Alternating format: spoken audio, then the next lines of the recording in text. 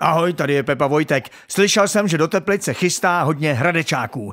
Nesmíme v tom chlapi nechat a otroky porazit na hřišti, tak i v hledišti. Moc nás teď nechodí, takže pojďme právě teď. Těším se na vás a Teplice do toho!